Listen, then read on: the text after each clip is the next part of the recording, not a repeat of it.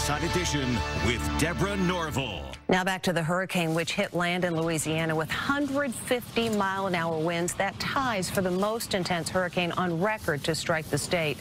The debris in the path tells the story of Ida's destruction and once again puts the spotlight on new building techniques that can withstand such force. Houses torn apart, roofs blown away like paper. What could survive 140 miles per hour winds? This house can. It was actually designed to remain intact during a hurricane.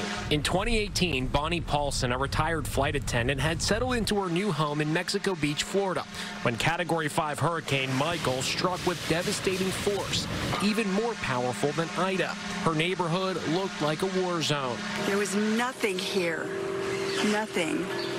As a matter of fact, uh, one of those houses flew past our house and landed in the woods over there. But her house was the only one left standing. How was that possible? Why this house and not the others? Currently, we can design homes up to 190 mile an hour wind speeds. Steve Linton is president of Deltec Homes, the company that built Bonnie's house and 5,000 others like it with the same design in hurricane prone locations all over the world. Time after time, home after home, it's left standing with no structural damage.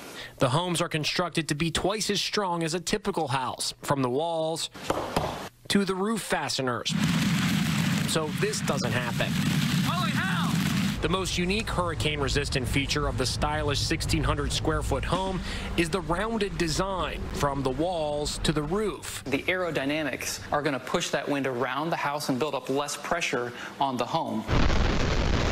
In the event of a storm surge, the home sits atop 14 feet reinforced concrete pilings, sunk 25 feet down. If your home is still standing after the storm, you know, you've made your investment back time and time again. And that's good enough for Bonnie. My house survived the hurricane.